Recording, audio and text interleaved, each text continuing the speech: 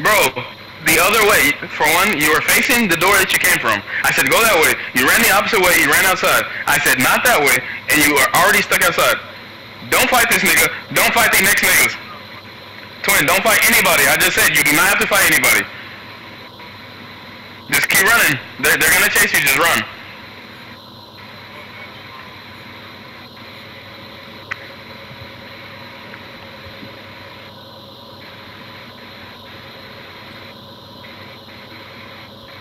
Think I'm trying to steer you wrong, bro? Just listen, twin.